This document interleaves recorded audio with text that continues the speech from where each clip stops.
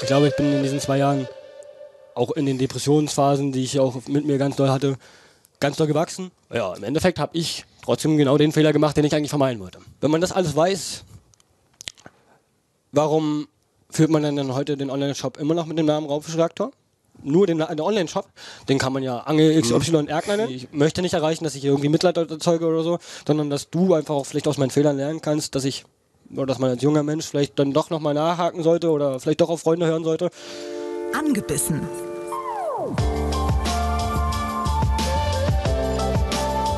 Der ABB Angel Podcast mit Frieda Rössler und Erik Mikan.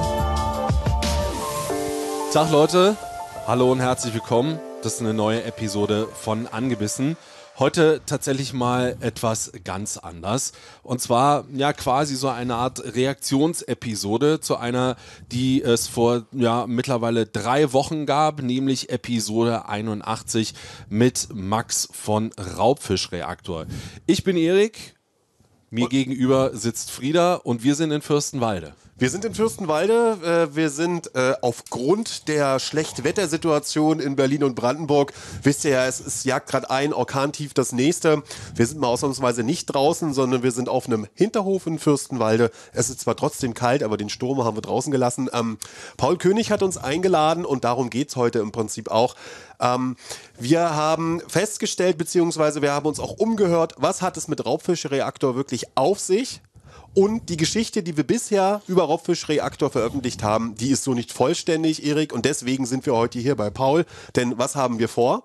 Ja, wir wollen uns natürlich gerne die andere Seite mal anhören, äh, das, was Paul ihm dazu zu sagen hat. Aber erstmal müssen wir ihn natürlich erstmal begrüßen. Hallo Paul. Hey, herzlich willkommen. Schön, dass ihr beide hier seid. Freut mich wirklich sehr, äh, dass ich jetzt von euch hier die Chance nochmal im Nachhinein geboten bekommen habe. Ja, zu mir kurz. Ich bin Paul, wer mich vielleicht noch nicht kennt. Ich habe vor zwei Jahren einen YouTube-Kanal gehabt ähm, und bin quer durch Deutschland gereist und habe eigentlich jede Woche Sonntag ein Video hochgeladen. Das kam sehr, sehr gut an. Ja, das ist erstmal die kurzen Randinformationen zu mir. Okay, also vielen lieben Dank erstmal dafür. Wir wollen allerdings ein paar Sachen vorher noch sagen, weil man muss sagen, dass die Reaktion auf diese Episode 81 und dieses Thema Raubfischreaktor extrem waren. Und was uns wichtig ist zu sagen, ist, dass wir nie beabsichtigt haben, dieses Thema eigentlich nochmal hochzukochen, sondern unsere Idee war, ähm, wir treffen uns mit Max, weil wir ihn spannend finden und interessant und wir wissen natürlich, dass es äh, Raubfischreaktor gibt, aber es war für uns ein Nebenschauplatz, weil wir natürlich gesagt haben, äh, der Typ ist für uns interessant und er hat auch gesagt, und klar, da sind wir auch ehrlich, äh, im Winter Hechte angeln, äh, das geht mit ihm gut, da hat er Bock drauf und deswegen haben wir gesagt, cool, dann lass uns doch mal was zusammen machen. Ähm, ja, dass wir das vielleicht ein bisschen unterschätzt haben, die Causa Raubfischreaktor, äh, ja, das merkt er ja, deswegen sitzen wir jetzt hier. Und genau deswegen haben wir uns eben gesagt, okay, wir wollten nicht äh, anderer Leute dreckige Wäsche waschen, aber die Geschichte ist nicht zu Ende erzählt bei uns und deswegen geben wir eben auch Paul die Chance, seine Geschichte zu erzählen, was Raubfischreaktor anbelangt. Aber merkt euch bitte, Leute, wir sind weder die Bildzeitung, noch können wir eine objektive Wahrheit zutage fördern. Und außerdem ist es was sehr Emotionales, was wir zwar erzählen können, aber es geht uns eigentlich nichts an. Deswegen freut es mich trotzdem umso mehr, dass wir mit Paul drüber reden können. Ähm, Paul, was ich noch mal gerne wissen wollen würde von dir. Du bist äh, 24 Jahre alt, mhm. äh, kommst aus Fürstenwalde. Ja. Äh, Erik und ich sind zum ersten Mal äh, bewusst in Fürstenwalde. Ich bin, glaube ich, vorher nur einmal durchgefahren. Was uns aufgefallen ist zu deinem Heimatort, das ist ja ein wunderbarer Angelplatz hier. Das stimmt tatsächlich. Ähm, ich glaube auch nur dadurch bin ich mit zum Angeln gekommen, dadurch, dass die Gegebenheiten hier so gut sind. Ähm, ja, es ist unnormal, wie viele Seen und Flüsse vor allen Dingen es hier gibt. Ähm, ja, ist wirklich ein schönes Angelparadies hier. Um das aufzulösen, das ist äh, die alte Spree, wird sie auch genannt? Sp ganz normal, die alte Spree gibt es hier und die ganz normale Spree. Also es gibt zwei Hälften, in denen es unterteilt wird quasi. Ähm, ja, dann gibt es aber auch den Trebuser See, einer meiner Lieblingsseen, den Scharmütze Ähm, ja. Das klingt alles wunderbar und ich erzähle das deswegen, weil eigentlich hatten wir uns ja vor, äh, uns an der alten Spree zu treffen mit mhm. dir, weil äh, wieso hattest du das vorgeschlagen als Treffpunkt und auch als Aufnahmeort ursprünglich? Genau, wir treffen uns ja jetzt hier auf dem Hinterhof, weil schlechtes Wetter ist und zwar hatte ich als, als ersten Treffpunkt einen ganz besonderen Punkt für mich ausgewählt, denn dort hatte ich mein erstes YouTube-Video äh, aufgenommen damals. Ähm, ja, als es dann wirklich richtig losging, gab es dort nur für mich diesen Ort, äh, dort mein erstes YouTube-Video aufzunehmen und ähm, ja, ich glaube, das ist auch sehr, sehr gut aufgenommen worden, dieses Video. Der Platz dann dort ähm, hat auch publik gemacht, also wurde ziemlich publik dadurch. Ähm, und ich habe auch ziemlich viele neue Angler kennengelernt dann an diesem Ort, die dann auch gesagt haben, hey, pass auf, ich habe dein Video gesehen und wollte mir den Platz hier unbedingt mal anschauen. Und ähm, ja, ich glaube, deswegen ähm, war für mich so dieser Ort, an dem ich mich treffen wollte, ähm, so dieser Kern, wo eigentlich alles angefangen hat. Und ähm, ja, ich jetzt ja euch die Story dazu erzählen möchte, wie und warum. Ähm, jetzt auch nicht mehr. Ähm, ja, und ich dachte mir, der Punkt oder dieser Ort wäre dafür eigentlich ideal gemacht. Jetzt hier leider machen wir ja, einfach ja. das Beste draus. Manchmal ist ja auch ganz gut, ein bisschen Abstand zu haben. genau. Also das ist dann vielleicht auch nicht so schlecht. Ähm, lass uns mal ein bisschen anfangen, bevor wir sozusagen äh, vielleicht komplett in die Historie zurückgehen. Würde ich gerne, ähm, weil das natürlich auch das ist, was vielen unter den Nägeln brennt, ähm, über das reden, was sozusagen der Knackpunkt ist, nämlich die äh, ja, Geschichte rund um Raubfischreaktor, beziehungsweise ja dann irgendwie auch der Split zwischen äh, Max und dir und überhaupt. Und ich würde, bevor wir sozusagen uns das anhören, was du dazu zu sagen hast, damit es sozusagen nicht alle nochmal nachhören müssen, sondern jetzt hier gleich haben, haben wir nochmal das zusammengestellt, ganz kurz ähm, das, was Max dazu gesagt hat, das würde mhm. ich mir gerne nochmal anhören. Da, wo ich Schnitte gesetzt habe, da hört ihr das auch, da hört ihr unser kleines Piep, Piep. Und ähm, genau, das hören wir uns einfach nochmal zusammen an. Du hast es gerade schon angesprochen, Raubfischreaktor. Ähm, nimm uns mal ein bisschen mit, äh, wie kam es dazu? Weil es ja jetzt nicht so üblich, dass ein 18-Jähriger äh, zum Beispiel so einen eigenen Online-Shop hat. Nein, natürlich nicht. Ähm, üblich ist es natürlich nicht. Ähm, es hat angefangen 2019. Ähm, Dort haben wir mit einem YouTuber ähm, einen Online-Shop gegründet und haben uns 2018 schon zusammengesetzt, was können wir machen und haben so ein bisschen die Pläne besprochen, so was wir machen können und haben natürlich auch eine Marke gegründet, um uns mit der Marke abzusichern und haben dann eigene Merch rausgebracht. Ähm, erst nur, weiß ich noch, drei, vier Routen im Online-Shop gehabt, drei, vier Gummiköder und ähm, genau, das hat sich halt dann alles so ein bisschen aufgebaut. Dann gab es so ein paar Kompli Kompli Komplikationen und ähm, genau, dann ähm, ja, sind dann doch ein bisschen die Wege auseinandergegangen, ähm, hat halt alles nicht mehr so harmoniert und dann haben wir halt aber trotzdem weitergemacht und ja, so hat sich das alles weiter aufgebaut. Ähm, wir sind weiter am Ball geblieben. Ähm. Du hast es jetzt gerade gesagt, ich versuche es so ein bisschen zu verstehen. Also Raubfischreaktor ist sozusagen einfach erstmal wie so eine Art äh, Teammarke gewesen und das hat sich dann quasi entwickelt mit dem, mit dem Shop, wenn ich es richtig verstanden habe. Also es war aber nicht von vornherein so geplant, oder? Naja, also wir haben ja wie gesagt äh, mit unserem oder mit einem YouTuber zusammengearbeitet und äh, der hatte diesen Namen halt schon davor und dann ähm, ja, hat man sich halt kennengelernt und dann hat man halt geschaut, was macht man zusammen und äh, wie geht man vor. Da haben wir dann auch eine eigene Marke gegründet. Das ist die Marke Rare, von der auch unsere Klamotten sind, unsere Tücher, unsere Mützen, unsere T-Shirts und unsere Pullis. Und dann, äh, ja, hat es halt alles so seinen Lauf genommen. Genau. Okay, also du hast es gerade schon angesprochen. Ähm, äh, Paul heißt er, ne? Ähm, der, der YouTuber. Und es gab ja durchaus äh, große Zerwürfnisse, die auch, glaube ich, zumindest hier in Berlin und Brandenburg die Leute ein bisschen mitbekommen haben, was dann eben um Raubfrischreaktor sich dreht. Ähm, ja, kannst du darüber noch irgendwas sagen? Ja, natürlich. Also wie gesagt, äh, wir haben damals zusammen angefangen, ähm, haben uns dann nach einer gewissen Zeit getrennt, weil es halt nicht mehr funktioniert hatte. Ähm, ja, wurde halt dann natürlich äh, viel geredet, weil nicht so viele äh, Seiten halt bekannt waren oder was halt überhaupt gelaufen ist. Ähm, ja, also wir machen auf jeden Fall weiter und ähm, natürlich, ähm, es war eine coole Zeit, äh, muss ich ehrlich sagen und ähm, natürlich hat man viel gelernt. Ähm, ich bin für die Zeit auch sehr dankbar und ja, genau. Jeder muss seine eigenen Wege gehen. Er geht seine, wir gehen unsere und am Ende sieht man halt, wie halt den richtigen Weg gegangen ist oder was man halt dann am Ende macht und ähm, genau. Okay, das nochmal zur Rekapitulation. Ähm, das äh, ja, macht dich auf jeden Fall äh, anscheinend oder ist sehr anstrengend für dich, das zu hören, wenn ich das äh, richtig sehe oder eben ja so merke. Ähm, was, was daran ähm, ja, provoziert dich? Also warum, warum hast du auch so emotional darauf reagiert? Hm. Gut, also erstmal vorweg, für alle, äh, die jetzt hier den Podcast nicht nur hören, sondern auch sehen ähm, und auch sehen, dass ich hier am Zittern bin. Äh, mir geht es damit einfach wirklich nicht gut. Hier ist es nicht kalt drin oder so. Mir geht es einfach damit wirklich nicht so gut. Äh, ich versuche das hier auch gerade so unter Kontrolle zu kriegen. Ähm, ich denke, es gibt so einen Knackpunkt und wenn ich über den hinweg bin, den ich erzählt habe, dann kann ich mich auch wieder ein bisschen entspannen. Okay. Ähm, aber jetzt auf deine Frage zurückzukommen, was mich äh, an dem Aussagen von Max da provoziert ist. Ich finde es sehr, sehr schade, dass er mich nicht namentlich erwähnt hat, sondern immer nur YouTuber genannt hat, äh, gesagt hat.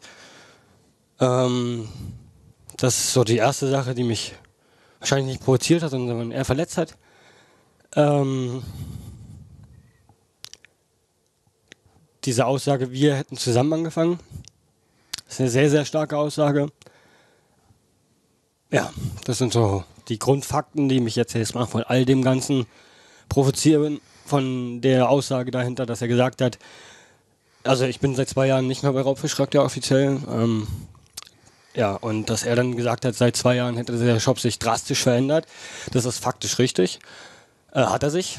Und ähm, jetzt kann man im Endeffekt sehen, als Konsument oder auch ich als Betreiber damals, ähm, wie man, wie sich das entwickelt hat, ob zum Positiven oder zum Negativen.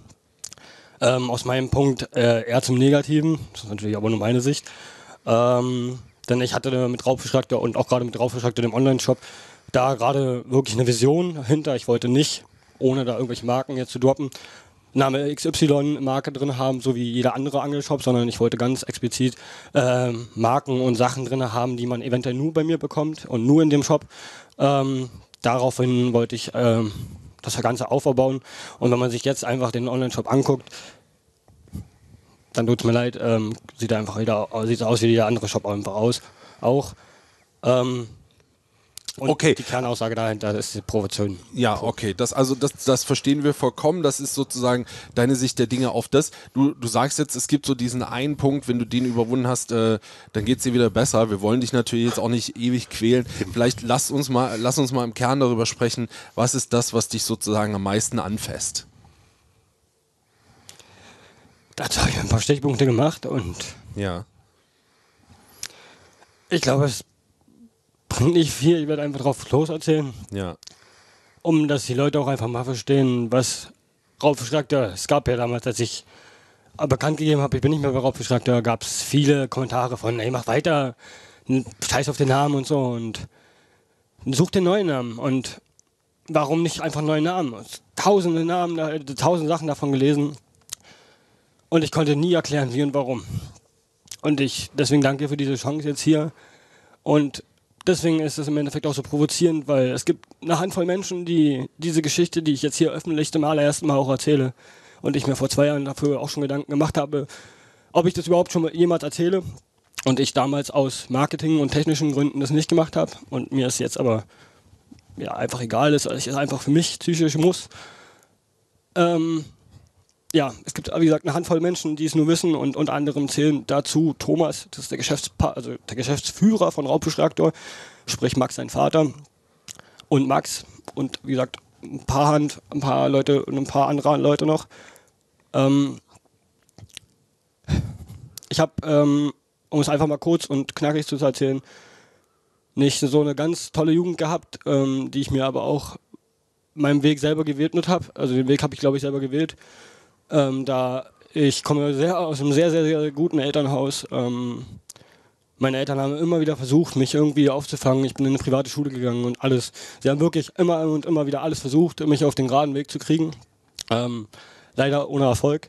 Äh, ich war ziemlich rebellischer, unerzogener, kleiner 13-, 14-jähriger Junge. Und äh, so hat sich das dann halt alles äh, relativ schnell zum Negativen entwickelt. Und äh, ich habe den Respekt gegenüber meinen Eltern verloren und so hat sich das einfach alles schnell entwickelt.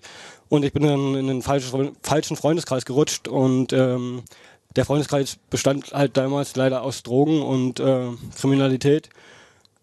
Und für mich waren meine Eltern dann auch irgendwann nicht mehr meine Eltern, sondern für mich gab es dann nur noch die Familie auf der Straße.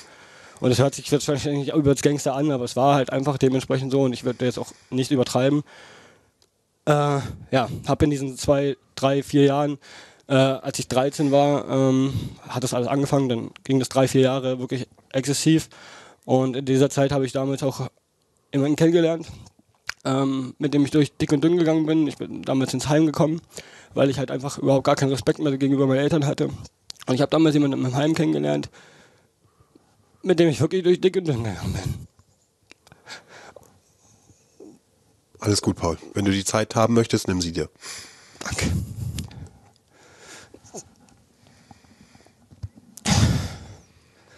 Von demjenigen, viele haben das wahrscheinlich in dem Video schon öfter mal gesehen.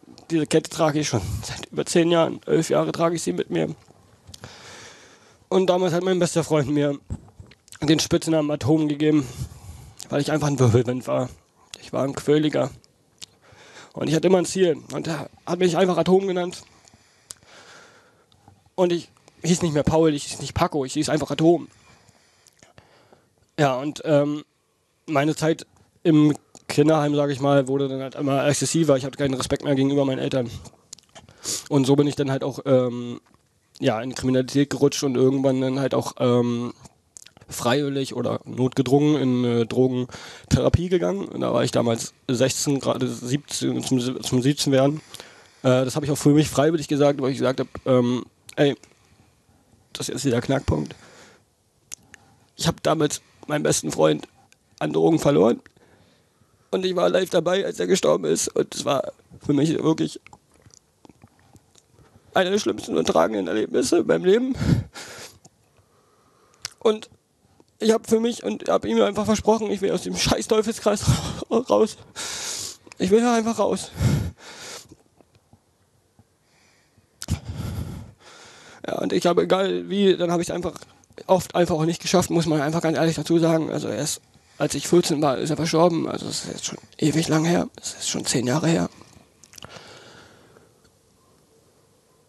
Mittlerweile ist das immer noch sehr emotional, aber emotional aus der Hinsicht, weil ich ihm damals versprochen habe, es wirklich zu schaffen. Und auch wenn man sich nur darauf merkt, dass er mir damals den Namen Atom gegeben hat, ich dann in die Drogentherapie gekommen bin und auch extrem viel gemalt habe und Sachen so, die mich interessiert, interessiert haben, einfach äh, auf ein Blatt Papier aufgeschrieben habe. Und irgendwann stand halt mein Name Atom und Angeln und Hechtangeln und Raubfisch, Friedfisch, stand alles so auf einem Blatt Papier. Und irgendwann habe ich einfach Raubfisch und äh, Atomreaktor stand da drunter. Das habe ich einfach so untereinander gelesen und dann habe ich Raubfischreaktor, das stand so durch den Zufall einfach unter, übereinander. Und da habe ich auf einmal in der Therapie wieder ein Ziel gehabt, so für mich. Und habe gesagt, ey, pass auf, zum ersten Mal in meinem Leben habe ich irgendwie irgendwas, woran ich mich auch wieder festhalten kann. So, und ähm, ich habe das Gefühl gehabt zu dem Zeitpunkt, dass ich dieses Versprechen einhalten kann habe dann in der Therapie auch wirklich Mut und äh, auch Selbstdisziplin gefasst. Ich war selbst zwei Jahre dort. Ähm, es war eine geschlossene Therapie. Also es war nichts mit viel mit rauskommen. Dieses Rauskommen musste man sich damals auch erarbeiten. Das habe ich mir dann damals auch erarbeitet. Ähm, und dann dort fing eigentlich Raubfischreaktor an. Ähm, denn als ich die ersten Wochenenden, das war nach anderthalb Jahren, dass ich dann zum ersten Mal raus durfte. Und dann haben mich auch meine Eltern in dieser Zeit, habe ich natürlich auch wieder einen besseren Kontakt ähm, therapeutisch äh, zu meinen Eltern auch gepflegt. Und da bin ich auch ziemlich, ziemlich, ziemlich, ziemlich dankbar an meine Eltern, dass sie mich auch dann jedes Wochenende äh, dort besucht haben. Also ich glaube, ohne den regelmäßigen Besuch von meinen Eltern hätte ich es damals auch nicht geschafft. Ähm, einfach nur für die Unterstützung halber. Und ja, dann habe ich die Therapie für mich einfach durchgezogen, habe dann dort in der Therapie auch nochmal einen Schulabschluss nachgeholt. Hat einfach nur für die 9. Klasse gereicht, aber es hat, war aber damals einfach so viel und einfach alles ist auf einen eingestürzt sozusagen. Ich musste mich erstmal mit meinen ganzen Aggressionen, hatte damals ein extrem starkes Aggressionsproblem, dieses Drogenproblem, äh, ein Drogenproblem, äh, dann auch die ganze Kriminalität, die dann einen einfach auch noch einholt und die Sachen, die man ja dann auch in der Zeit einfach erlebt hat. Und ähm, war eine sehr, sehr prägende Zeit, diese Therapiezeit für mich und ja, da bin ich dann auch, äh, wie gesagt, irgendwann habe ich mir erarbeitet, dass ich dann am Wochenende raus durfte. Und äh, da gab es dann für mich eigentlich nur eine Sache. Ich habe zu meinen Eltern damals gesagt, äh, die haben mich gefragt, hey, pass auf, du darfst jetzt hier nächste Woche das erste Wochenende raus, was wir zu machen? Ich will angeln. Ich will angeln, ich will ans Wehr. Und ich bin damals ans Wehr, da wo wir uns heute eigentlich hätten getroffen. Und ähm, ich habe auch ein Foto, das kann ich euch gerne mal noch im Nachhinein senden. Ähm, da bin ich noch im Hemd. Ich bin damals sehr viel im Hemd getragen als in meiner Therapiezeit. Bin ich am Hemd am Wehr gewesen und habe einen großen, riesengroßen, ich glaube, ich damals 41, 41er Barsch gefangen. Und der ist damals auch in die Angelwoche gekommen, heißt die Zeitung. Habe ich das einfach hingeschickt, bin da auch reingekommen, war mega stolz. Und so hat das eigentlich, glaube ich, alles angefangen. So diese erste Resonanz davon zu bekommen, ey, da postet jemand meinen Fisch so in der Zeitung, war man schon stolz. Und äh, zu dem Zeitpunkt, oder drei, vier Wochen später, glaube ich, habe ich dann den erste, das erste Mal einen YouTube-Kanal aufgemacht, der hieß Raubfischreaktor. Raubfischreaktor, alles zusammengeschrieben, alles, glaube ich, ganz groß. Also alles in Caps. Ja, da gab es dann auch nur ein Video, das geht fünf Minuten, glaube ich. Und das ist nur ein Beat, der da durchläuft und irgendwie auf dem Beat geschnitten, auch ganz, ganz schlecht. Aber so hat das eigentlich für mich die Vision einfach damals angefangen, dass ich gesagt habe, ey, Raubfischreaktor, daran möchte ich festhalten, das ist jetzt mein Ziel. Egal, ich wusste zu dem Zeitpunkt noch nicht, Online-Job, da war noch nichts, irgendwie Raubfischreaktor. Das hat so, das ist es. Mhm. Das musste unbedingt äh, YouTube sein, YouTube-Kanal. Du musstest. Äh ich wusste noch nichts. Ich, ich, ich, zu dem Zeitpunkt Raubfischreaktor. Ich wusste, ich will irgendwas mit Angeln machen und ich will, ich will das damit schaffen, weil das macht mir schon, hat mir schon immer Spaß gemacht. Ähm, Angeln war schon immer ein ganz, ganz, ganz wichtiger Teil in meinem Leben, auch in der Drogenzeit leider. Habe ich auch sehr viel auf Drogen geangelt, ähm, muss man auch einfach die Geschichte halber dazu sagen. Ähm, ja, es war halt irgendwie ein ganz wichtiger Bestandteil. Immer Angeln trotz alledem. Also egal wie viel Negativität damit drin war. Angeln war eigentlich immer das, was mir dann doch immer den Halt gegeben hat. Und deswegen äh, Raubfischrecken war für mich irgendwie so auf dem Zettel, ich, diesen, ich habe diesen Zettel auch noch irgendwo. Ähm, aber ich will dich jetzt nicht abwürgen, aber im Prinzip, du hast es jetzt damit erklärt, dass äh, im Prinzip das Raubfischreaktor-Ding, also nicht nur das Wort, sondern auch diese ganze Entstehungsgeschichte bei dir, dass dir das neuen Halt im Leben gegeben hat und dass daran eben auch, sage ich mal, eine äh, persönliche Bindung geknüpft ist, die es äh, nicht mehr gibt aufgrund der Natur. Aber dass es für dich halt halt wirklich sehr emotional ist, dass du da verdammt nah dran bist und ähm, wie wir es jetzt auch mitbekommen haben, ist dich sehr, sehr stark berührt und äh, dementsprechend dann auch deine Reaktion, beziehungsweise, wenn man so will, ist es ja dein neues Leben gewesen, Raubwurfsreaktor, dadurch, dass du dich aus dem alten Leben verabschieden konntest. Genau. Wie ist es denn dann dazu gekommen, dass du äh, Max kennengelernt hast?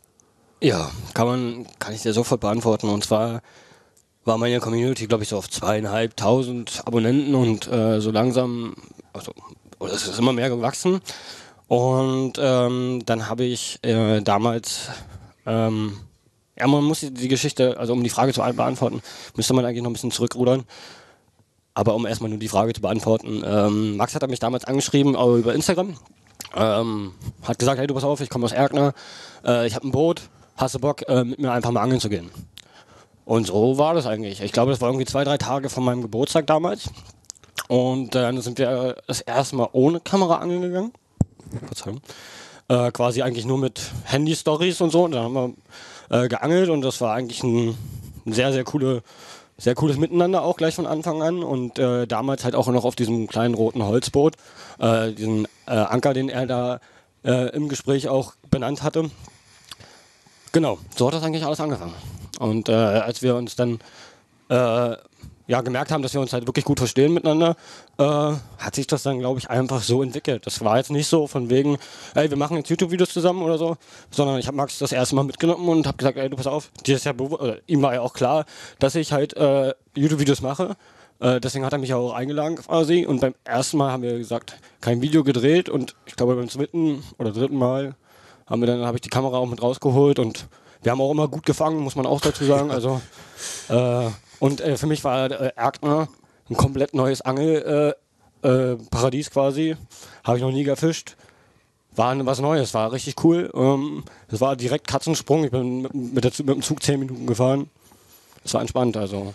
Von welchem Zeitraum reden wir denn, damit man das so ein bisschen äh, einordnen kann? Wann habt ihr euch kennengelernt? Wann war das? 2018, 2019?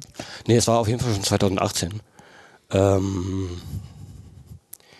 ja, den genauen Zeitpunkt, dadurch, dass Max, ich hätte, äh, um die, ich habe mich auch schon noch ein bisschen recherchiert gehabt, um auch wirklich die Wahrheit zu sprechen. Ähm, Da habe ich geguckt gehabt, äh, wann Max mich angeschrieben hat, aber Max hat das Profil gewechselt und äh, das Profil gibt es nicht mehr und deswegen Okay. konnte ich jetzt, kann ich es nicht ganz genau Aber sagen. gut, das ist ja, ist ja jetzt nicht so wichtig. 2018 können, wir, können wir festhalten. ich denke aber relativ am Anfang. Also ich, äh, Ja. Mhm. lass uns mal Januar, Februar gehen. Äh, ich denke so Januar, Februar müsste es rum gewesen sein, dass wir uns da Okay. Hat dich angeschrieben, weil ähm, wir kennen ja auch viele Raubfischreaktor-Videos, da bist ja mehr oder weniger du die Hauptrolle, weil als YouTuber, du sprichst ja direkt deine, deine ähm, Community an. Ähm, ab und zu sieht man ja auch Max, der dabei ist, aber das ist im Prinzip, er hat dich entdeckt, dass es da einen YouTube-Kanal gibt, Raubfischreaktor, lass mal, also im Prinzip der klassische Weg, lass mal zusammen angeln gehen Genau. und da hat sich dann zwischen euch eine Angelfreundschaft entwickelt. Ganz genau. Und das ist jetzt der mehr geworden ist. Genau. Genau, also, wir, also ich habe es auch nochmal nachgeguckt, zumindest das, was man eben noch sieht. Auf deinem YouTube-Kanal 2018, 2019 machst du sehr regelmäßig Videos. Und dann gibt es halt diesen Punkt, es muss im November 2019 gewesen sein, wo das eben vorbei ist.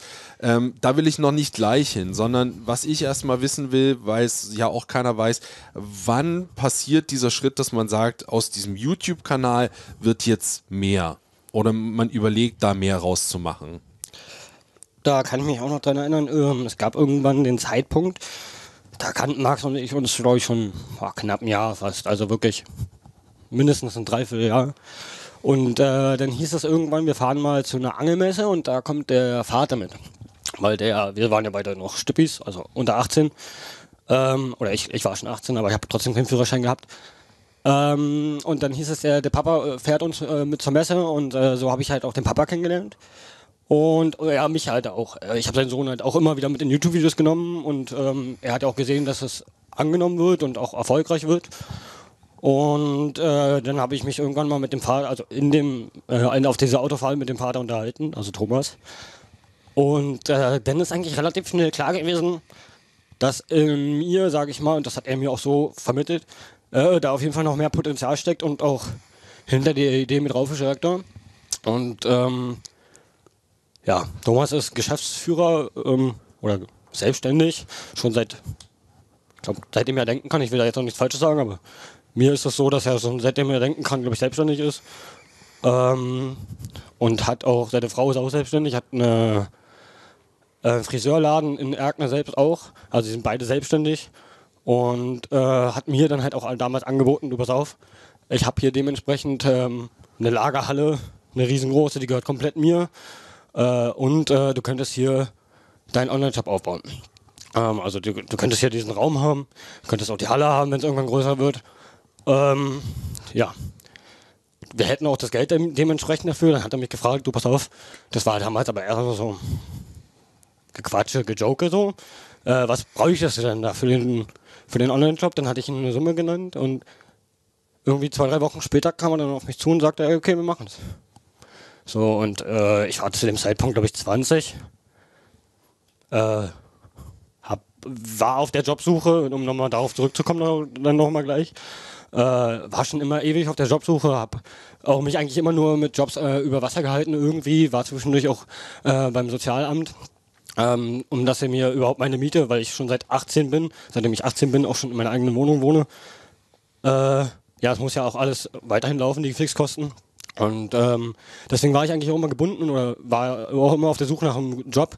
Und ähm, zum allerersten Mal war Raubstärk denn nicht nur noch die, die Idee auf dem Blatt Papier, sondern äh, der YouTube-Kanal, der ja schon be bereits bestand äh, und zu dem Zeitpunkt, glaube ich, auch schon 5000 Abonnenten hatte. Und ja, dann auf einmal war dieses Ziel oder da wirklich noch, noch mehr zu erreichen und nicht nur ein leeres Versprechen zu geben damals, sondern wirklich auch ein Versprechen, was man wirklich halten kann. Und das hat sich ganz, das war ein ganz besonderer Moment für mich. So, also ich kann es gar nicht beschreiben, wie ich mich in diesem Moment gefühlt habe, ohne. Also ich weiß, das ist nicht so dieses, ich bin abgehoben und alle arrogant so. Stolz vielleicht? Ja, also es war, ich kann es nicht beschreiben. Es war wirklich ein unglaubliches Gefühl auf einmal und ich kann mich aber auch noch dran erinnern und ich kann jetzt im Nachhinein nur sagen, hätte ich auf diese Person gehört. Es gab so zwei Personen, die gesagt haben, oder die das alles mit einem sehr, sehr, sehr kritischen Auge beobachtet haben und gesagt haben, du pass auf, du bist mein Freund. Mach das nicht. Mach das nicht. Da wird ein Haken dran sein. Und ich habe damals denjenigen böse Wörter in den Kopf geschmissen. Wirklich. Ja. Böse, böse, böse Wörter in den Kopf geschmissen. Es tut mir leid, wirklich. Ähm, ja. war damals, also wie gesagt, da war einfach die Lebenserfahrung äh, zu dem Zeitpunkt einfach überhaupt nicht gegeben vom, für mich so. Ähm, für mich war einfach nur klar, der Mann erfüllt mir einen Traum. Ich kann jetzt mit dem Geld, das er mir zur Verfügung stellt, machen, was ich möchte, quasi für den Shop. Aber Paul, ähm, da, dass wir das richtig verstehen, wie können wir uns das vorstellen? Du hast jetzt erzählt, ähm, Online-Shop ist möglich, Mhm. er stellt dir das zur Verfügung, ähm, du kriegst das finanziert. Mhm. Das heißt, dass man dir das irgendwie äh, vertraglich irgendwie fixieren und regeln muss, weil wir wissen alle, wenn Geld im Spiel ist, muss es irgendwie äh, so ablaufen, ne, dass falls Umbruch kommt, das Geld woanders gebraucht wird, dass man äh, da vertragliche Absicherung hat. Ähm, kannst du das erzählen? Weil das, das wissen wir ja auch nicht. Und Das äh, das kann sich aber jeder vorstellen, genau, dass man natürlich nicht einfach, ich nenne jetzt einfach mal Betrag X, 5000 Euro einfach gibt, um einen möglichen Online-Shop aufzubauen, ohne äh, dran zu denken, dass es auch ein Risiko verbunden ist, gerade wenn ich lange schon berufstätig bin, beziehungsweise selbstständig. Da habe ich ja nicht einfach mal eben 5000 Euro übrig. Ja, vollkommen richtig. Also, ähm, und dann wahrscheinlich auch wurde dir nicht irgendjemand einfach 5000 Euro geben, wenn man nicht vielleicht sogar noch die Expertise dazu hat. Denn, das muss ich dazu auch noch sagen, ich habe ähm, damals, als ich aus meiner Therapie gekommen bin, das ganz kurz, äh, bin ich dann, dann leider auch nochmal abgerutscht, äh, auch nochmal mit Drogen. Und ähm, meine Mutter hat mir damals eine Bewerbung äh, in die Hand gedrückt ähm, bei Global Fishing. Und äh, das ist ein Online-Shop von Angel Joe. Und ähm, ich weiß noch, dass sie mir den, diesen, so ein braunes Kurier in die Hand gedrückt hat und gesagt hat, hier, komm mal rein. So, und ich war zu dem Zeitpunkt leider wieder äh, negativ, äh, rückfällig geworden. Und habe dann einfach nur irgendwann, glaube ich, auch irgendwann, nicht gleich sofort, irgendwann am Abend dieses Kurier aufgemacht und habe reingeguckt und habe erst so ein Bewerbungsschreiben gelesen und im Nachhinein, also Rückseite quasi, äh, ja, Herr sehr geehrter König, wir würden Sie morgen äh, gerne bei uns im Global Fishing be äh, begrüßen. Auf einmal hat sich dann doch schlagartig wieder mein Leben geändert. Dann äh, meine Ausbildung, die ich nach meiner Therapie gemacht habe. Ich habe ja meinen Schulabschluss nachgeholt, um die Geschichte dann nochmal zu Ende zu erzählen. Äh, habe meine Therapie in der Therapie meinen Schulabschluss nachgeholt und bin dann aus Therapie in die Ausbildung quasi gegangen. Die habe ich dann aber zu dem nach einem halben Jahr Probe kurz vor Probezeit verloren und nur deswegen bin ich quasi nochmal rückfällig geworden, äh, weil mir dann einfach sämtlicher Halt wieder in meinem Leben gefehlt hat. Und äh, dann kam halt meine Mutter mit dem Bewerbungsschreiben und der Zusage zu dem Bewerbungsschreiben äh, gleich dazu. Und äh, so hat sich das damals entwickelt. Ich bin äh, nächsten Morgen äh, zum Global Fishing nach Weißensee nach Berlin gefahren, äh, habe dort Felix kennengelernt und Joe, also Joe sage ich schon Jonas, ähm, das ist der Geschäftsführer vom Angel Joe.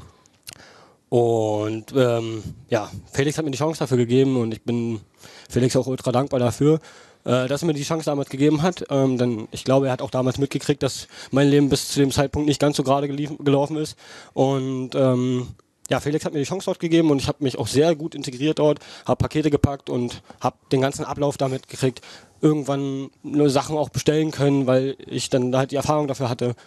Genau. Und nach anderthalb Jahren äh, bei Angel Joe, sprich bei Global Fishing, habe ich dann äh, auch durch den Fahrtweg und ich glaube, dann waren damals irgendwelche mit Amt und irgendwelche Maßnahmen.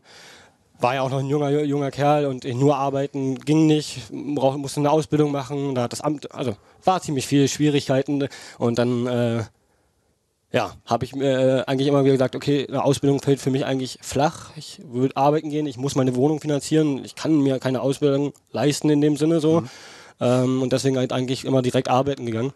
Und äh, von Global Fishing dann äh, zu Pin, das ist so ein Fahrradla, also so ein Fahrradposten. Zusteller. Hm? Genau, ähm, habe ich glaube ich anderthalb Jahre auch gemacht und dann bin ich erst zu Angeln und YouTube wieder gekommen. Warte mal, ganz kurz, warum war das dann bei äh, Angel Joe vorbei nach anderthalb Jahren? Das war nicht so richtig klar. Ähm, da gab es irgendwie so ein, äh, ich musste so ein Einstiegsqualifikationsjahr machen. Okay. Das ist vom Amt, was ich erzählt hatte, dass es da so Komplikationen gab. Ähm, und ich hätte quasi 40 Stunden arbeiten müssen, also Ja. und fürs gleiche Geld. Okay. Also ich hatte damals, glaube ich, 650 Euro, glaube ich, äh, war das, so ein Teilzeitjob. Ähm, und ich hätte aber für 40 Stunden vom Amt, das war jetzt nicht von Angel Joe, dass Ja. ich gesagt habe, ey Angel Joe, wir ziehen dir jetzt hier äh, für, die gleichen, Stu- für das gleiche Geld äh, doppelte Stunden drauf. Sondern das war halt so ein Einstiegsjahr ähm, vom Amt direkt und ähm, das sollte ich da machen. Und dann habe ich gesagt, nee, du pass auf. Also ich habe auch in Tränen da gesessen und äh, damals bei äh, Angel Joe gekündigt. habe gesagt, ey, du pass auf, es geht nicht mehr. Äh, ich kann nicht, nicht fürs gleiche Geld arbeiten, ich muss meine Wohnung finanzieren. Äh, und es war damals, das weiß ich, ich habe damals bei Glaube Fishing in Tränen da gesessen und habe auch da ganz doll geweint, weil das für mich ja meine Chance war, die ich damals dann geboten bekommen habe. Ähm, ja, Okay, gut. Soweit, soweit ist es erstmal zu verstehen. Mhm. Äh, dann kommt äh, sozusagen das Angebot, die Möglichkeit, dass man oder dass ihr quasi diesen, diesen Online-Shop macht. genau. Dann genau, setzt ihr diesen, diesen Vertrag auf. Ähm, Du hast gesagt, du hast jetzt sozusagen auch zwischendrin nochmal Rückfälle gehabt und so, aber zu dem Zeitpunkt ist erstmal alles gut und äh, Genau, also ich, das muss ich dann gleich vorweg sagen, seitdem ich dann bei, äh, glaube ich, Fishing gearbeitet habe, war ich dann auch wieder cleaner. Ich hatte dann wieder einen Halt. Es war wirklich zu dem Zeitpunkt, ich habe meine Ausbildung verloren, ich glaube so meine Freundin damals zu dem Zeitpunkt. Also es war wieder alles in Richtung Chaos und ähm, ja, als, seitdem ich dann äh, bei Global Fishing angefangen habe, seitdem bin ich dann auch wieder clean gewesen oder ge- bin, bin seitdem clean. Ähm, und jetzt nochmal auf den Vertrag und auf deine Frage zurückzukommen dass ich äh, zu dem Zeitpunkt ähm, weiß, dass ich beim Hartz-IV-Amt war. Also ich habe Hartz IV bezogen zu dem Zeitpunkt und ähm, also zu dem Zeitpunkt, dass als Thomas mir das angeboten hat quasi. Und äh, dann hieß es, ich muss erstmal irgendwie einen Arbeitsvertrag vorlegen bei dem Arbeitsamt. Äh, 650 Euro würden da auch nicht, äh, nee, 450 Euro hatten wir erst gemacht. Aber 450 Euro würden nicht reichen. Es müsste ein Teilzeitjob sein, quasi versicherungspflichtig. Ähm, ja, und äh, Thomas und ich hatten uns wortlich, wörtlich drauf, also mit einem Gespräch darauf geeinigt, pass auf, 25.06. Äh, ist das Release-Datum von dem Online-Shop. Da sollte der Shop online geht. Zu dem Zeitpunkt, glaube ich, Januar, Februar habe ich angefangen.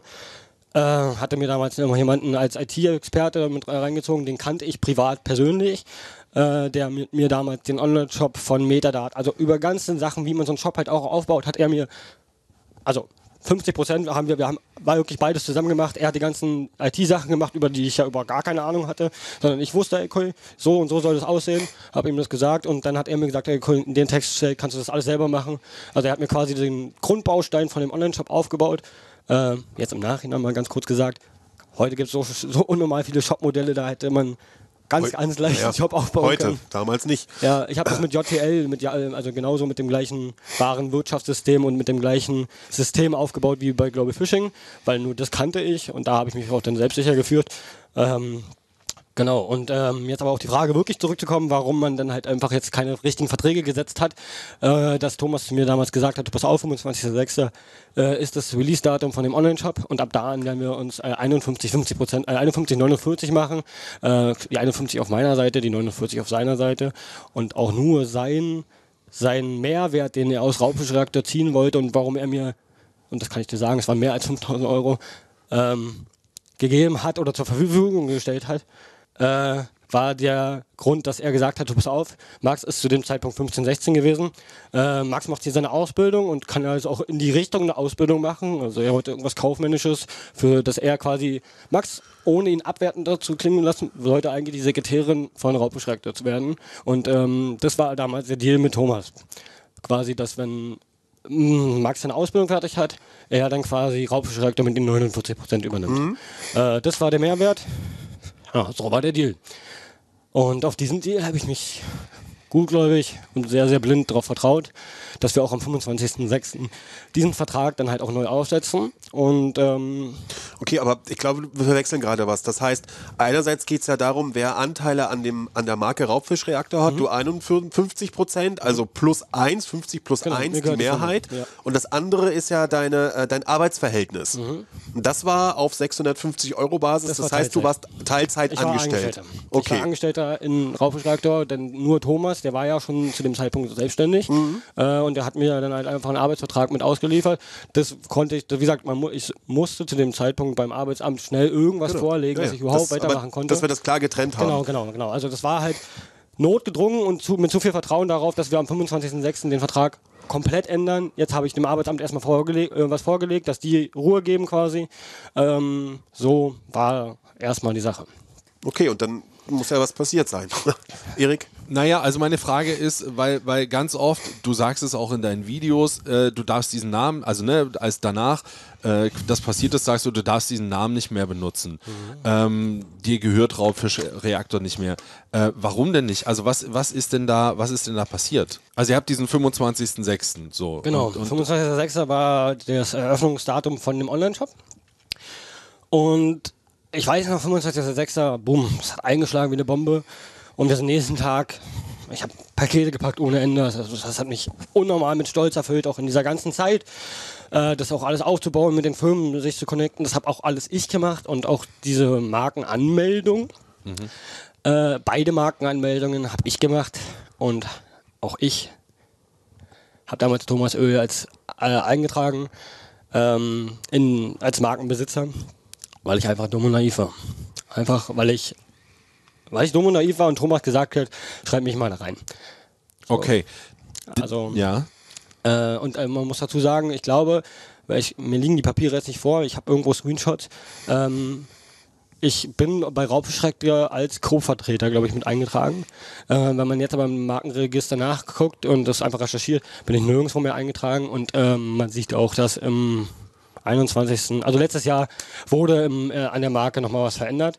Ähm, das ist nachweislich, kann man sehen. Was verändert worden ist, kann ich jetzt nicht mehr nachvollziehen. Ähm, ich will da jetzt nicht sagen, dass sie meinen Namen da rausgenommen haben aus Raubfischreaktor, aber ich bin mir ziemlich sicher, dass ich damals egal bei, bei beiden Marken, Raubfischreaktor und Ware. Und Ware bezieht sich aus Raubfischreaktor, das sind die ersten zwei Anfangsbuchstaben von Raubfischreaktor. Und Ware ergibt äh, auf Englisch das Wort selten. Und genau das war mein Ziel. Das war eure Klamottenmarke, ne? Ja, genau. Damit hatte ich auch eigentlich noch mehr vor.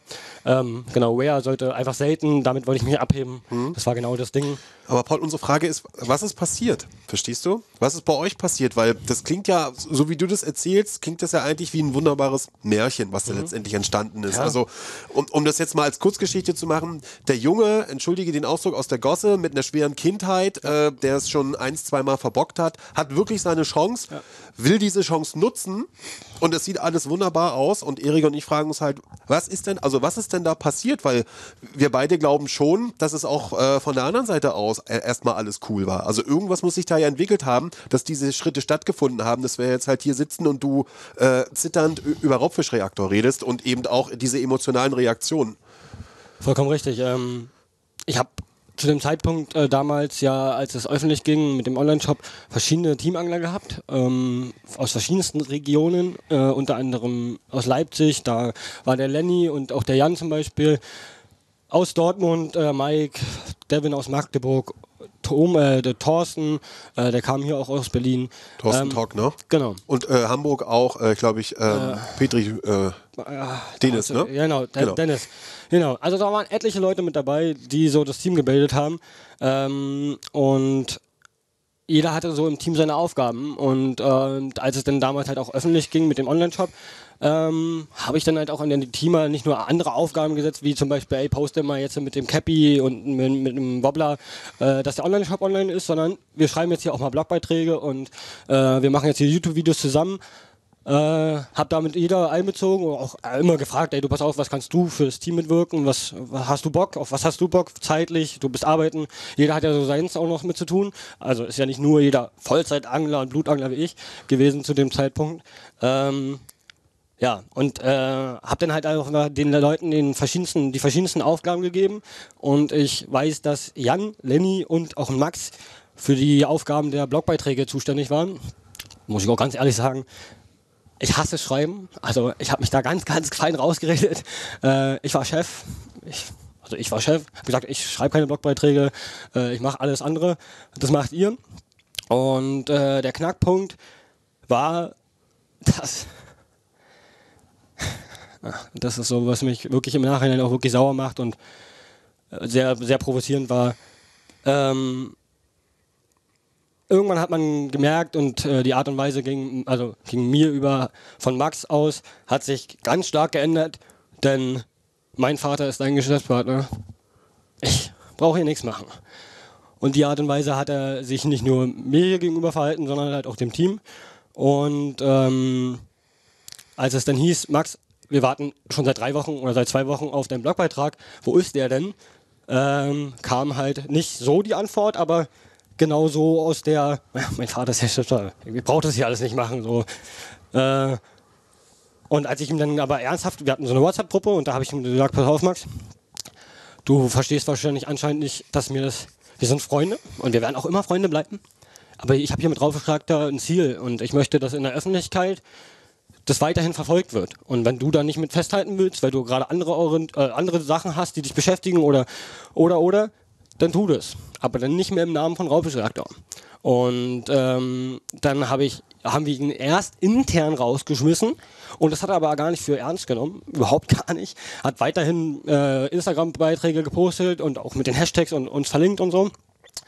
Und dann äh, bin ich in der WhatsApp-Gruppe ein bisschen direkter geworden und habe gesagt, du pass auf, Max, ich weiß nicht, was, was du hier machst. Wir haben dir hier gesagt, wenn du keine Blogbeiträge machst, wenn du dich hier nicht mit einbringst, äh, dann bist du nicht mehr Teil von Raufischreaktor. Und wenn du jetzt hier aber anscheinend unsere Ansage oder die Durchsage nicht wahrnimmst, äh, dann muss ich das jetzt ja öffentlich machen.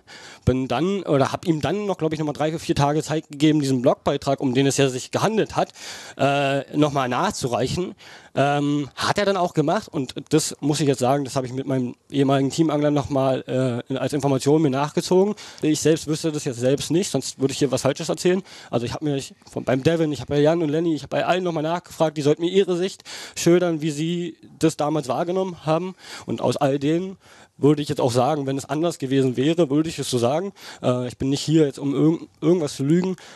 Ähm, hat Max äh, einfach diesen Blogbeitrag nicht nach, also er hat, na, hat, den, nachgere hat den nachgereicht, aber äh, er war so unnormal schlecht ähm, und auch wirklich halbherzig, äh, dass ich gesagt habe, du pass auf, mach das nochmal richtig.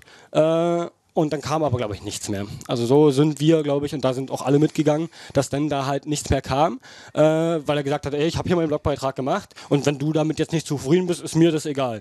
So auf die Art und Weise. Und dann habe ich ähm, öffentlich gemacht. Dann bin ich in die Story gegangen und habe gesagt, du pass auf, äh, es tut mir jetzt echt gerade leid, äh, dass ich euch das so mitteilen muss, ähm, aber Max ist nicht mehr äh, im Team Raubfischreaktor. Und diese Stories habe ich auch alle noch im Archiv, also die könnte man einfach auch nochmal recappen. Ähm, da habe ich auch wirklich, ich glaube, habe ich auch wirklich gesagt, es tut mir wirklich weh, dass Max nicht mehr im Team Raubfischreaktor ist, aber Max äh, funktioniert intern gerade nicht und deswegen muss ich euch das jetzt einfach so mitteilen, dass ihr da auch Bescheid wisst. Ich möchte nicht Max da jetzt irgendwie ausschließen aus irgendwas, sondern Max hat hier seine Aufgaben einfach nicht intern erfüllt. Und äh, deswegen muss Max jetzt äh, das Team jetzt erstmal, und es war auch ein Erstmal, das habe ich auch ganz klar betont, verlassen. Und ähm, dann, und das ist ja das so, wie es mir öffentlich im Raum vorgeworfen wird, äh, war ich krank. Und ich war, also ja, also ich war dann zwei Tage nicht da, sprich drei Tage, drei Tage war ich nicht da. Ähm, Montag oder Dienstag war die Situation, wo ich Max öffentlich aus dem Team geschmissen habe und Freitag ähm, quasi dieser der, der, gleichen Woche äh, bin ich mit meinen Eltern in, nach Spanien in den Urlaub geflogen. Ähm, Montag, Dienstag ist das passiert und die nächsten Tage bis Freitag bin ich quasi nicht äh, zum Online-Shop gegangen ähm, und habe dann auch dementsprechend nicht die Pakete gepackt. Aus dem folgenden Grund, weil ich einfach mir keinen Bock hatte, äh, Thomas äh, sein, sein Gerede anzuhören, warum ich Max rausgeschmissen hätte. Und äh, da muss ich ehrlich sagen, habe ich mich zu dem Zeitpunkt, wollte ich mich einfach verdrücken, wollte ich die Diskussion vor meinem Urlaub einfach vermeiden. Und ähm, ja, bin dann halt nicht in den Online-Shop reingegangen. Das ist ja das, was mir jetzt im Nachhinein vorwerfen, dass ich halt einfach krank war und mich nicht gemeldet habe und sie mich des nur deswegen rausgeschmissen haben. Ähm, ja, äh, und als ich dann äh, aus meinem Urlaub, sprich aus dem Spanien-Urlaub mit meinen Eltern, der auch alles abgesprochen war und jetzt kommt leider der Nachteil für mich, Thomas hätte das alles gar nicht machen können. Also Thomas könnte bis heute, glaube ich, nicht den Online-Shop so weiterführen, wenn ich ihm nicht jeden Step dafür noch vorher beigebracht habe, vor meinem Urlaub. Weil wir haben uns noch hingesetzt und haben gesagt, Thomas, so pflegst du die Sachen ein, so mhm. schickst du die Pakete raus. Äh, und das war ja also jetzt nur, weil er mir oder bei mir nachgesagt wird, ähm, ich hätte das mit dem Urlaub und so, das, diese fehlende Zeit, diese quasi ja dann zwei, zweieinhalb Wochen, äh, wäre ich unentschuldigt gewesen. So, also das ist totaler gelogen, weil Thomas habe ich, ich habe damals Thomas nur aus dem Grund, weil ich in den Urlaub fahre, die ganzen Sachen beigebracht. Also ähm, ja, bin dann Hast, aber. Hast du denn eine Krankschreibung vom Urlaub? Hast also diese, diese, drei, diese drei Tage definitiv nicht, das weiß ich. Okay. Also äh, das da, da war von mir auch, ich war ja nicht krank. Ich hatte nur keinen Bock, mich ähm, in der Konversation zu auseinanderzusetzen, dass Thomas auf mich zukommt und sagt, ey, warum schmeißt du hier meinen Sohn raus? Aber wussten die anderen, dass du dann danach genau. im Urlaub bist? War das angesagt? War das angekündigt? Wer sind die anderen? Na, die aus deinem Team. Ja, ja, das war, das und war ja Max und ja, klar, Thomas das muss, dann. Das, das muss ja angekündigt genau, gewesen sein, weil du ja Thomas instruiert hast, wie er in deiner Abwesenheit den Online-Shop betreibt. Genau, das war also alles. Aber äh, du sagst im Prinzip, du bist jetzt mal im Beamtendeutsch gesprochen, drei Tage unentschuldigte Arbeit ferngeblieben. Genau. Hast es.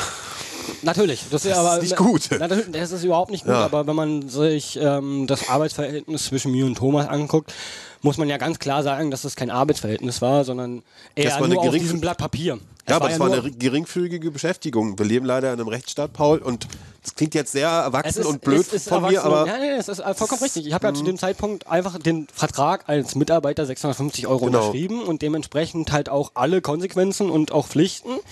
Äh, und Pflicht ist halt, sich nach einem Tag zu entschuldigen mit einem Krankenzettel. Also alles gut. Ja, ja, äh, aus dem Aspekt, deswegen, wir waren lediglich auf dem, auf dem Blatt Papier Mitarbeiter und Chef. Aber andersrum war es eigentlich so, was ich, ich habe Thomas gesagt, was jetzt zu tun ist und was wir, was wir zu ja, lassen haben. du weißt, Recht haben, Recht kriegen. ähm, Das ist es jetzt, genau, genau. Das ist halt einfach diese Situation, dass wir damals gesagt haben, ey, du pass auf, wir machen jetzt nicht 51, für 49 gleich von Anfang an, weil sonst guckt ihr das Arbeitsamt an und sagt, Herr König, machen Ja, denn da das jetzt? war ja auch eine, das war ja auch eher ähm, die, die, die Rechte oder die Urheberrechte am Raufischreaktor. Also das meinte ich deswegen vorhin, wir müssen ja Aber unterscheiden vielleicht, mh, genau. zwischen Arbeitsverhältnis und äh, Anteile an der Marke. ja, nee, Mar So. Markenrecht, also da, da muss ich ja gleich mal vorweg was sagen. Ähm, Arbeitsrecht oder Firmenbesitz und ähm, Marken sind ja nochmal zwei verschiedene Pu Naja, Kuchen, genau. deswegen, also Aber dann äh, ganz kurz, ähm, weil wir, ich glaube, es wurde noch nicht gesagt. Das heißt, äh, was ist denn dann passiert? Also wurdest du dann quasi gekündigt aufgrund dieser, weil das haben wir noch nicht einmal Genau, gesagt. genau, das war, wir war, genau. bis jetzt. Da will ich ja aus hin. diesem- Genau, genau, wir wollten dahin jetzt gerade, jetzt sind wir abgeschweift. Ähm, Im Endeffekt war es so, dass ich aus diesem Urlaub wieder zurückgekommen bin und ähm, meinen Laptop aufgemacht habe. Ich habe damals sehr viel vom Laptop ausgearbeitet und ich habe, äh, ge- glaube ich, bewusst auch gesagt, ey, pass auf, ich nehme den Laptop nicht mit in den Urlaub. Ich habe Urlaub und habe mir auch schon so gesagt. Ähm, und zu dem Zeitpunkt zum Glück bin dann aus dem Urlaub zurückgekommen, habe den Laptop aufgehauen, wollte mich mit allem einloggen und habe gesehen, ähm, kein Zugang, kein Zugang, kein Zugang, kein Zugang. Habe meinen YouTube-Kanal aufgemacht, kein Zugang. Von allem kein Zugang mehr. Also hier im Hintergrund, ihr könnt ihn jetzt nicht sehen, sitzt mein bester Freund. Den habe ich ich glaube, ich konnte zu dem Zeitpunkt nicht mal mehr einen geraden Satz sprechen und habe gesagt, du musst, du musst jetzt hierher kommen. Ich glaube, ich, ich weiß nicht, was passiert ist. Und äh, ich weiß, dass ich jetzt, ich habe vor drei, vier Tagen mit Devin, einer meiner Teamangler, geschrieben. Der war zu dem Zeitpunkt, als ich meinen Online-Shop, äh, den muss ich auch angerufen haben, oder der hat mir jetzt auch erzählt, ey, du pass auf, als der Online-Shop, äh, du hast mich angerufen und gesagt, total aufgewühlt, ich komme hier nichts mehr, nirgendwo rein. Äh, und ich soll ähm, gesagt haben, ich will Thomas zusammenschlagen dafür. Ähm, und äh, ich will, ob wir da jetzt nicht zusammen hinfahren. So, äh, so aus der Prämisse habe ich damals Devin angeschrieben. Äh, Devin kam dann halt auch zu mir. Das sind nur Erzählungen, die mir jetzt im Nachhinein- Nachtrag nochmal erzählt hat. Und hat mich dann einfach nur beruhigt und hat mit mir versucht, dann nochmal in, die- in die Zugänge zu kommen. Und äh, Devin wirklich auch ein sehr, sehr guter, sehr guter Junge. Ähm, ja, hat mir haben aber nicht geklappt und ich weiß nicht, äh, er war sich da auch nicht mehr sicher, ob wir dann im Ruhigen nochmal zu Thomas gefahren sind. Ähm, ich weiß, und das weiß ich auch nochmal aus Nacherzählungen oder aus meinen eigenen Erfahrungen, also aus meinen eigenen Erinnerungen, dass ich mit Thorsten, ähm, Thorsten Tock, äh, damals noch meine Sachen abholen war. Sprich, nicht alles. Oder also irgendwie gab es da nochmal ein Gespräch zwischen mir, Thomas und auch Thorsten. Äh, was genau gesagt worden ist oder wie, kann ich mich nur noch in Bruchstücken erinnern und ich möchte jetzt auch, wie gesagt, ich, äh, es soll ja, ich möchte da jetzt niemanden schlecht oder na, im Nachtrag nochmal nachtreten, ähm, aber ich kann mich daran erinnern, dass zu dem Zeitpunkt das Gespräch von Thomas seiner Seite aus nicht respektvoll und auch überhaupt nicht die Art und Weise, wie wir vorher miteinander kommuniziert haben, war nicht mehr da. Und man hat richtig gemerkt, du hast meinen Sohn jetzt hier in die Pfanne gehauen quasi, der ist jetzt nicht mehr bei deiner Firma, jetzt zeige ich dir mal, wer, wem die Firma hier gehört. Und so war auch die Art und Weise des Gesprächs. Ähm, und dann kam noch meine Emo- Emotionalität dazu und auch all der ganze, die ganze Wut, die ich ja dahinter hatte, dass er mir jetzt auf einmal diesen ganzen Zugang da versperrt und ähm, dementsprechend war halt auch, glaube ich, dieses Gespräch zwischen mein letztes Gespräch mit Thomas und mir. Also ähm, Seitdem war Funkstille. seitdem ist Funkstille. Okay, und ähm, bisschen jetzt, um, um, um um- ich will es nicht abkürzen nennen, aber um Nee. da noch ein bisschen Struktur reinzubringen. Also, ähm, das heißt, dein größter Halt im Leben, dein Lebenswerk, war aus deiner Sicht dann natürlich kaputt. Ähm, wie würdest du das aus heutiger Sicht betrachten? Also ich, ich erlaube mir jetzt nicht, das zu sagen, aber würdest du sagen, durch Naivität von deiner Seite aus? Du hast vorhin gesagt, du warst so dumm. In dem Moment, das hat nichts mit dumm zu tun, das mit Unerfahrung zu tun. Also was würdest du vielleicht aus heutiger Sicht anders machen? Ja. Gleich von Anfang an andere Verträge aufsetzen natürlich. Ähm, äh, oder ganz anders nochmal gesagt, ich glaube, wenn ich heute nochmal die Chance geboten bekommen würde, ähm, sage Summe X, hier, bau dir das nochmal alles auf.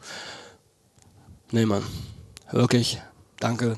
Danke wieder für das Angebot. Aber nee, Mann. Ich glaube, ich bin in diesen zwei Jahren, auch in den Depressionsphasen, die ich auch mit mir ganz doll hatte, ganz doll gewachsen. Und ähm,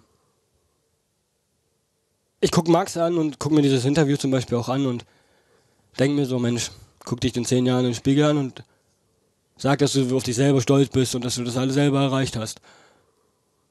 Und wenn ich ihm das so vorwerfen würde, kann ich mir das ja selber auch nur vorwerfen. Wenn ich mich zehn Jahre in den Spiegel angucke und sage, ja klar, habe ich das alles erreicht. Aber wer hat mir den Startschuss gegeben? So, äh, ohne das Geld von Thomas damals wäre ich ein Witz.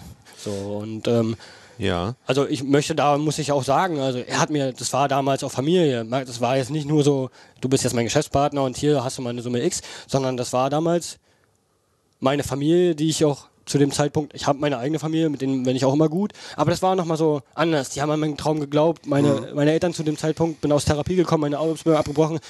Ja, so mit einem, mit einem wackelnden Auge gesagt, hey, mach was ordentliches.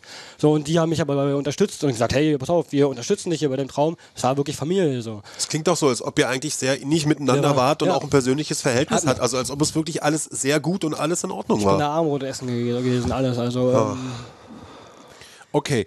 Ähm, einfach, vielleicht bin ich heute sozusagen in der Rolle, die doofen Fragen zu stellen, weil, weil, weil mir fehlen noch ein paar, also ich habe so ein paar äh, Anschlusslücken. Das erste ist, wir haben jetzt darüber geredet, es gibt diese Mehrheitsverhältnisse an der Firma. Ähm, die gehören 49 Pro nee, 51 Prozent hätten. äh, hätten. Wie, äh, okay, das verstehe ich nämlich nicht. Wieso hätten? Na, denn. war die wörtlich. Nee, nee, es war bis jetzt dann nur äh. Wir haben uns Ah, darauf okay. mündlich äh, darauf vereinigt, geeinigt gehabt, ähm, dass am 25.06. das ist der Online-Shop Release-Tag gewesen, wo der Ach so, Online-Shop online geht. aber eigentlich gehörte der Online-Shop sozusagen gar nicht dir. Noch zu keinem Zeitpunkt. Okay, alles klar. Also- Gut, das war nämlich, also ich hoffe, euch, ihr seid alle ein bisschen weiter, aber ich habe es noch nicht ganz geschneit. So, und jetzt kommt aber noch dieses Markending dazu. Mhm. Ähm, weil darüber haben wir noch nicht geredet. Und wir sind jetzt schon bei fast einer Stunde, aber wir müssen das schon äh, echt sauber machen diesmal. Und deswegen will ich das zumindest kurz auch nochmal ansprechen. Was ist denn mit dieser Marke passiert? Beziehungsweise, wieso ist denn das überhaupt erstmal zu einer Marke geworden? Weil äh, vorher war es ja sozusagen nichts Geschütztes. Genau. Ähm, das war einfach nur der, die Sache, dass ich gesagt habe, du pass auf, Thomas, äh, wenn wir jetzt hier Online-Shop machen und Co., möchte ich auch, dass das alles geschützt ist und äh, dass mir nicht jetzt hier irgendjemand, und zu dem Zeitpunkt habe ich doch schon einige Neider gehabt, ähm, die dann jetzt einfach nur, weil sie es wissen, oh, raufgeschreckt, da melde ich mal jetzt als Marke an und dann bist du weg vom Fenster, habe ich ihm gesagt, du pass auf, auf den ganzen Scheiß habe ich keinen Bock ähm, und habe selber mich da informiert, äh, Markenrecht kostet 300 Euro eine Marke anzumelden, äh, wenn man es patentieren will, 3000 Euro, also da habe ich wirklich auch Ahnung und habe mich dann damals auch rangesetzt ähm, und wenn ich zum Beispiel auch damals gesagt habe, für mich würde eine Ausbildung nie in Frage kommen. Da war es. Ich habe mich, egal was, Online-Shop, wie baut man was auf? Ich habe nächtelang gelesen, wie macht man das? Na klar, weil dich das interessiert genau, hat, Das hat mich interessiert. So, war. ähm, so und ähm, jetzt nochmal auf deine Frage zurückzukommen. Ähm, ja, wie ist das entstanden mit der Marke? Dass ich einfach für mich gesagt habe, pass auf, ich möchte das für mich selber einfach schützen und ich möchte damit auch was erreichen und ich möchte halt auch Produkte entwerfen und die sollen dann einfach rechtlich geschützt sein. Also ich wollte halt einfach wirklich eine Marke haben. Ähm, die Chance war geboten, das Geld war da. Also ähm, warum nicht? So und ähm, Raubfischreaktor war zuerst die Marke. Und währenddessen ich dann nächtelang diese Marke auch angemeldet habe, kam mir die Marke Rare den Kopf. Und Rare ist halt die ersten, die sind die ersten beiden Buchstaben aus Raubfisch und Reaktor quasi. Ja. Und äh, damals äh, habe ich gesagt, ey, pass auf, wir melden die Marke erstmal nur an. Ob wir was wir damit machen und erstmal egal. Das Rare, das ist noch eine, eine Co-Marke, das ist wie Balzer und die Untermarken davon quasi. Ähm, so habe ich mir das vorgestellt. Ähm, Raubfischreaktor ist die Main-Marke und alles, was darunter kommt, dann baue ich mir dann nach wie nach auf. So war der Gedanke dahinter. Und unter Wear hatte ich dann zum Beispiel erstmal nur die Merch-Klamotten, also Merch-Klamotten würde ich auch nicht mehr sagen, denn die äh, haben wir hergestellt in einer Firma, die von Tommy Hilfiger die Produkte herstellt. Also das war damals wirklich auch richtig gute Qualität, auch wirklich Summe X bezahlt dafür. Aber Und wer hat das bezahlt? Wer steht Thomas. da drin? Thomas. Thomas. Das Ja. heißt, überall steht Thomas drin, nicht Überall- du. Nein, nein. Okay. Aber da- das heißt, die Marke hast auch du nicht angemeldet. Also Ich habe sie angemeldet. Aber du stehst nicht Namen. drin. Genau, nein, nein, das, ich stehe überhaupt nirgends, also nein, bei Raufenschreck, da stehe ich noch mit drin.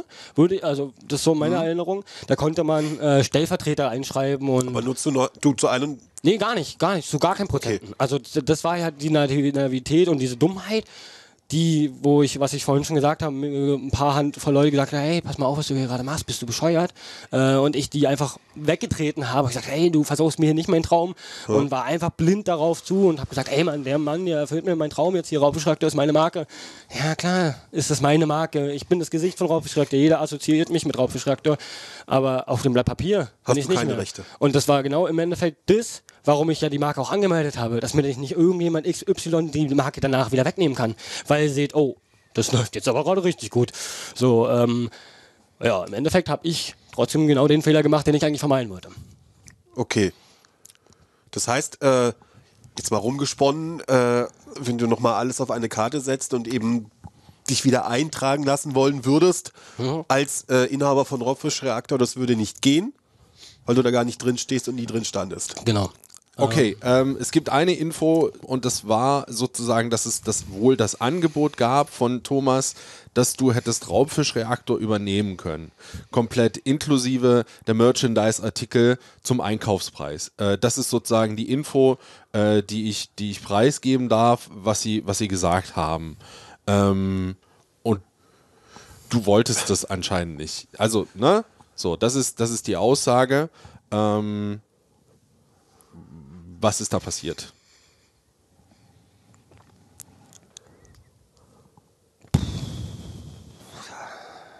dreckigste, größte Lüge der Welt.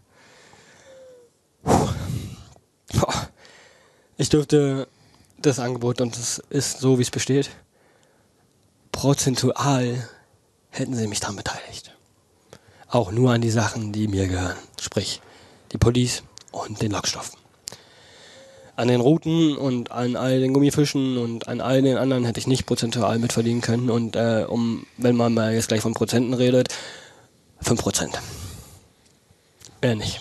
Das, so war der Deal und äh, deswegen habe ich auch damals so überemotional auch gehandelt, egal ob in Stories und auch gegenüber Thomas. Und ich bin sehr, wie du vorhin auch schon meintest, ich bin ein Junge von der Gosse und ich habe mir das auch alles selber erzogen. Ich habe mich selber erzogen. Ähm, meine Eltern hätten mich erziehen können, ich wollte das damals nicht, ich habe meinen eigenen Weg gewählt. Und dementsprechend ist wahrscheinlich auch die Art und Weise, wie ich mit manchen Menschen oder mit Menschen umgehe, die mir bewusst schaden. Mhm. Ähm, da kann ich dann nicht einfach nur sitzen und sagen, hey komm, wir setzen uns nochmal hin und quatschen hier nochmal. Ja, na klar, du bist halt schaden. sofort, du bist Ja. sofort an. Hm? So, und ähm, das hat auch einfach mit meiner nicht vorhandenen Lebenserfahrung zu tun gehabt, dass ich damals halt auch so reagiert und agiert habe. Ähm, heute würde ich, glaube ich, nochmal anders reagieren. Ich glaube, da wäre ich rechtlich einfach schlauer. Ähm, denn ich habe mich ein bisschen informiert und habe mich auch informieren lassen von Leuten, äh, die gesagt haben, hey, du pass auf, jeder assoziiert dich mit Paul, äh, äh, Paul äh, mit Raufeschreckter und ähm, in Engl äh, Amerika oder so ist es nicht so, aber in Deutschland wer zuerst mal kommt, äh, wer zuerst kommt, mal zuerst.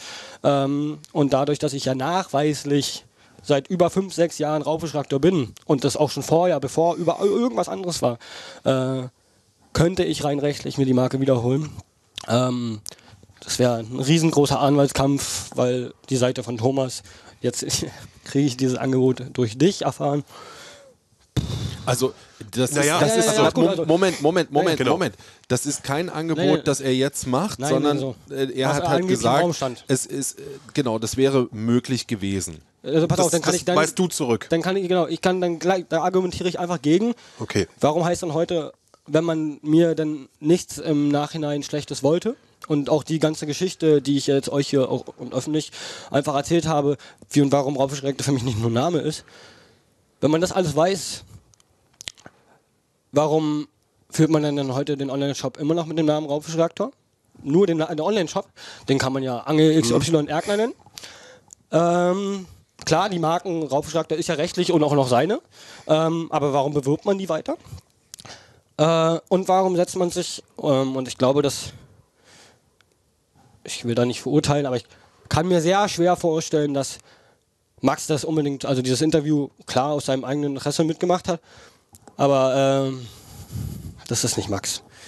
Max setzt sich nicht vor die Kamera und äh, hat da, das ist, das ist er nicht. So. Ja gut, das ist aber Spekulation. Genau, also deswegen ist das jetzt nur meinerseits, aber- ne, das, also das, da, Ähm, da ja. müssen wir, da müssen wir tatsächlich ein bisschen vorsichtig sein, Ja, genau. weil Nee, das nee, weiß einfach keiner von uns. Ja. Ähm, das heißt aber, dieses Angebot hat es dann nie gegeben oder, also das, das ist mir noch nicht klar. Also wenn es dieses Angebot gegeben hätte, hätte ich mit allem, egal wie damals, hätte ich mir einen Kredit geholt, egal wie, dann hätte ich wahrscheinlich zu dem Zeitpunkt mir noch irgendjemand anderes als Investor geholt, der gesagt hat, ey, du pass auf. Und zu dem Zeitpunkt gab es viele, viele Leute, die mir gesagt haben, ey, ich habe ja zu dem Zeitpunkt viele Heulstories gemacht und versucht den Leuten irgendwie zu erklären, was da los war, hab denen aber nie erklärt, was los war. Und ganz viele Leute kamen auf mich zu und ey, pass auf, hier Summe X, lass ihn Thomas doch einfach ausbezahlen äh, und dann ist das. Und äh, also wäre er dieses Angebot irgendwann existent gewesen, würden wir heute nicht hier sitzen. Okay, und auch nochmal zum Verständnis, ähm, den Lockstoff, den es da gibt, Atom und Proton, Neutron und Proton. Entschuldigung, Neutron und Proton, ähm, das hast auch du alles ausgedacht, du hast es erfunden und es war auch, glaube ich, deine Mischung, ne? Ja, also Damit wir komplett im Bilde sind, deswegen Ja, ja. frage ich nochmal kurz nach. da war ja auch noch was. Ähm, denn Max hatte das ja so assoziiert, die Marke, wie die Marke zustande kam durch den Namen. Deswegen frage ich nach. Proton und Neutron vorher da waren, eben nicht. Ähm, ich habe damals äh, ja, mit verschiedensten Firmen zusammengearbeitet und habe halt auch äh, verschiedenste Ideen gehabt von eigenen Produkten. Und damals derjenige, dem ich so doll äh, ja, vom Kopf getreten bin, als er gesagt hat, hey, du pass auf, mit Raufgeschlagen, sei da vorsichtig, auch gerade mit Markenanmeldung, der hat mir damals das Rezept gegeben. Also er ist für mich einer der größten Angelkoryphäen, die es gibt. Er ist nie irgendwie großartig in die Öffentlichkeit getreten, aber ist einer der und größten dann Deutschland, Deutschlands bester Angler. Ähm, für mich, das ist meine Meinung. Ähm, und der hat mir damals dieses Rezept gegeben. So, und der hat seine Expertise, da würde ich niemals, egal wie, auch wenn ich jetzt einmal noch aktiv dabei wäre, würde ich niemals daran kommen, wo er, er hat mir das einfach so gegeben, weil er gesagt hat, hey, du pass auf, ich hab dich wirklich lieb, Mann, du bist wie mein kleiner Bruder.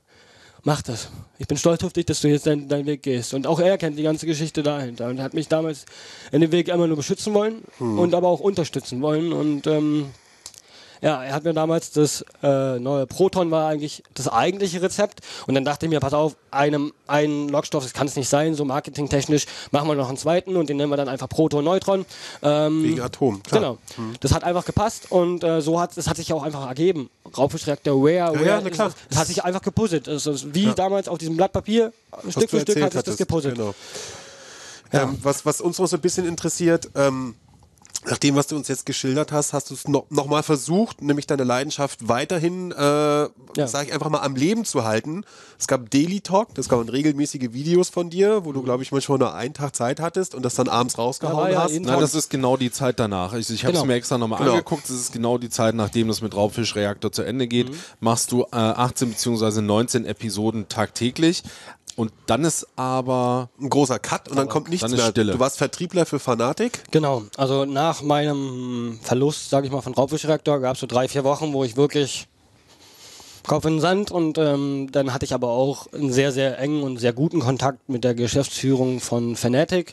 Ähm, ja, die sind hier neu in, äh, in den, in, auf den Markt gekommen quasi, auf den deutschen Markt. Und äh, die Lücke und den Braten habe ich gleich gerochen und bin relativ gut mit denen gleich am Anfang gewesen und auch wirklich mitmenschlich, also nicht nur firmenmäßig, sondern auch menschlich. Und ähm, als die Geschäftsführung damals das halt auch alles mitbekommen hat, hat gesagt, ey, pass auf, du bist ein guter Junge, äh, wir stellen dich jetzt hier bei uns ein und äh, da muss ich einfach sagen, die Chance habe ich bitterlich verkackt. Also habe ich einfach, weil ich, ich war es nicht selber, also ich bin kein Vertriebler, ähm, ich war Raubfischreaktor. Und das war irgendwie, ich habe versucht, mit allen Not und Drungen irgendwie versucht weiterzumachen, mich nicht von irgendjemandem unterbringen zu lassen, weil ich diesen Traum, weil ich dieses Versprechen hatte.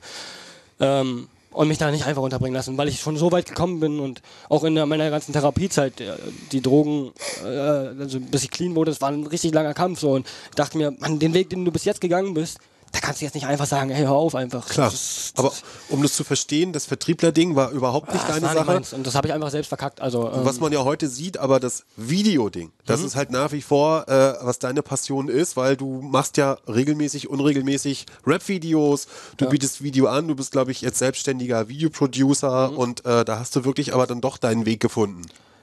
notgedrungen, aber ja, sehr, sehr sogar. Ähm, ja, ich hatte dann halt einfach in der Zeit, wo ich dann halt überlegt habe, wie und was mache ich jetzt, mache mach ich weiter, habe da immer wieder nach Erkner gefrontet und habe da auch immer nachgetreten und immer noch wieder Feuer ins, äh, Holz ins Feuer geschmissen genau. und ähm, ja, hab dann aber irgendwann für mich selber erkannt, ey, du kommst hier nicht weiter. Du kommst damit nicht weiter. Alle Leute sagen, ey, hör auf rumzuheulen und so. Und äh, ich hatte mein Schnittprogramm, ich hatte meine Kamera und äh, ich hatte hier ein paar Kumpels, äh, also habe hier meine Freunde und einer davon rappt halt und äh, ich habe mir dann damals gesagt, äh, bin auf dem zugegangen, habe gesagt, du, pass auf, wir machen jetzt hier einfach mal, weil ich wieder was zu tun haben möchte, einfach mal ein Rap-Video. Du rappst hier einfach mal ein Part und ich drehe ein Video dazu und so ist das eigentlich damals entstanden und ähm, ja, heute muss ich sagen, macht mir das noch mehr Spaß als Angeln. Das hört sich jetzt im ersten Moment wahrscheinlich ganz, äh, was ist denn mit dem geworden? Ähm, aber aus der Sicht, dass ich mich so kreativ entfalten kann, ähm, dass es keine Grenzen gibt. Es gibt keine Grenzen und beim Angeln gibt es eine Grenze. Irgendwo ist der Schluss, dass man Videos cuttet oder wie, wie man sie bearbeitet.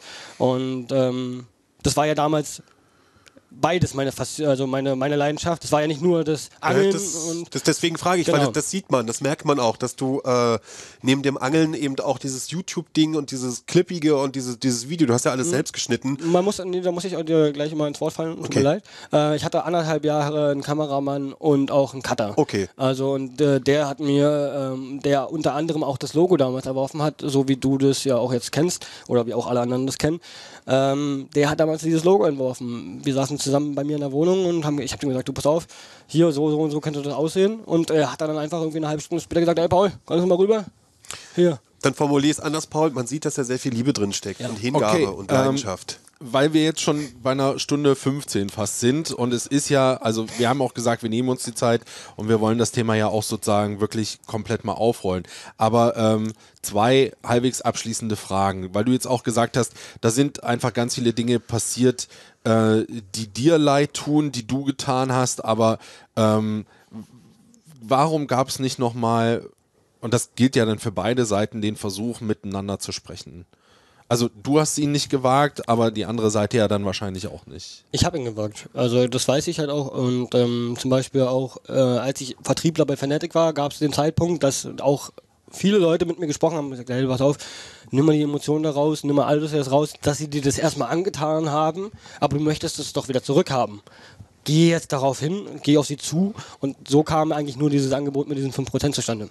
Also ähm, sonst hätten sie mir, also von sich selber aus kam da nie irgendwas von wegen, ey, wir machen jetzt ein Angebot mit 5% Beteiligung, sondern nur weil ich halt immer wieder äh, stunk und leider sehr emotional und wirklich blöd reagiert habe, ähm, gab es dieses Angebot von 5%. Aber nur deswegen. Also, Okay. Okay, und was Erik genau richtig sagte, als letztes, vielleicht klappt das ja, wenn es nicht klappt, dann klappt es eben nicht, aber wie könnte das Ganze abgeschlossen werden? Also vielleicht auch einfach mal gefragt, was müsste denn passieren, dass du deinen Frieden findest? Das hier, das ist hier passiert gerade in dem Moment. Wirklich, vielen Dank. Ich konnte mir meine, einfach meine Probleme und halt das, was ich für mich hatte, was mich einfach jetzt in zwei Jahren wirklich beschäftigt hat, einfach von der Seele reden. Paul, das ehrt uns sehr. Die Frage zielt aber auch noch dahin, ähm, weißt du, wir können ja jetzt nicht in Erkner anrufen und sagen, hey, passt mal auf, äh, redet mal miteinander, das Ding muss irgendwie aus der Welt, verstehst du? Genau, ist, äh, ist auch nicht unsere Aufgabe. Nee, nee, also ich habe mir dazu auch nochmal Gedanken gemacht oder das war so die erste Frage, die ich mir eigentlich nach eurer Anfrage gestellt hatte. Was willst du erreichen damit? Genau. Ich wollte nicht erreichen, dass ich mich hier irgendwie, ich möchte nicht erreichen, dass ich hier irgendwie Mitleid erzeuge oder so, sondern dass du einfach auch vielleicht aus meinen Fehlern lernen kannst, dass ich, oder dass man als junger Mensch vielleicht dann doch nochmal nachhaken sollte oder vielleicht doch auf Freunde hören sollte. Ähm, ja, ich möchte hier nichts mit diesem Video oder mit dem, mit dem Bericht jetzt hier oder mit meiner Klarstellung irgendwie nochmal im Nachtrag erreichen. Ähm, auch egal wie groß und sehr dieser Wunsch dahingehend wäre, mh, dass ich Raubstreckte komplett wieder besitze und auch alles in meinem Namen wäre, glaube ich, kann das nicht passieren. Also nicht, dass ich es nicht würde wollen.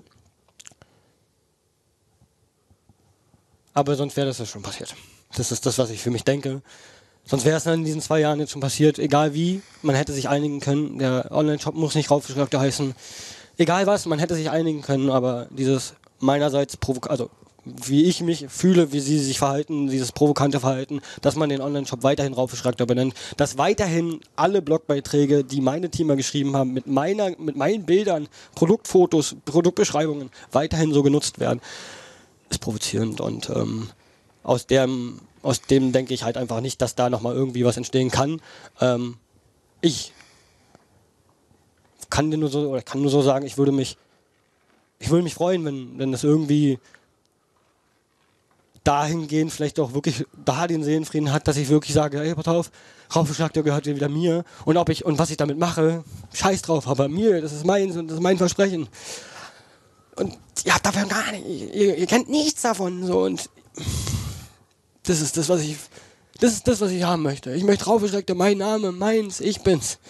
Ich möchte das wieder haben. Ich möchte nicht, ich möchte nicht die Firma. Mir ging es nie um Abonnenten, mir ging es nie um Geld. Fuck off. Fuck off für diesen Namen haben, mehr nicht.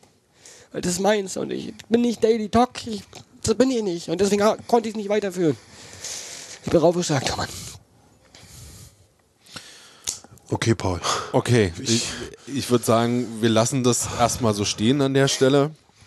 Die Botschaft ist angekommen. Ähm, danke, dass du den Mut zusammengenommen hast. Äh, ähm, ja, also ihr merkt, das ist einfach ein hochemotionales Thema. Ähm, auch hier muss man sagen, das ist jetzt sozusagen Pauls Seite.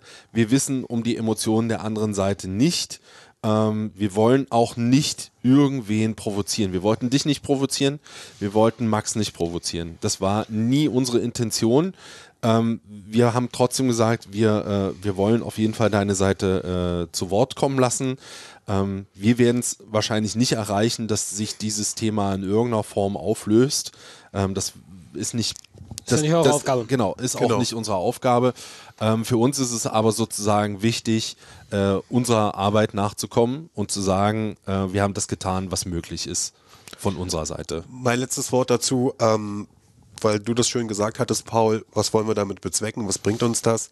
Für mich ist die Frage beantwortet nach diesem sehr beeindruckenden Gespräch, so möchte ich es mal sagen. Mir ist jetzt klar, warum diese emotionale Reaktion.